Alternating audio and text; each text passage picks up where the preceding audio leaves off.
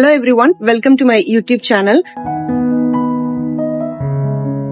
The topic for today is a very good nutrient dense food as well as a superfood that we are going to talk about today is the drumstick leaf.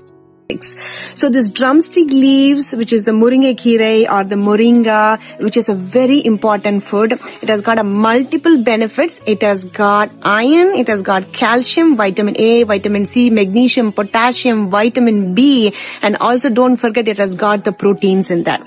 So it has got an important protein. So vegetarians who are looking for the protein, you can safely take it. It has got good amount of essential amino acid. So it's boost up your immune system.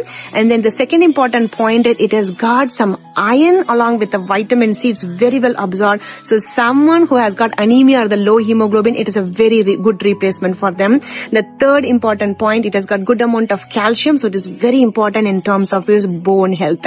And then don't forget, it also has a neuroprotective effects. What does that mean is it helps you in terms of the brain growth and also it lowers or lowers your cognitive decline. And that's why usually at home, our mom or grandma always they say that take this muringakire because you can do a good amount of math. It just because it has got this neuroprotective effect.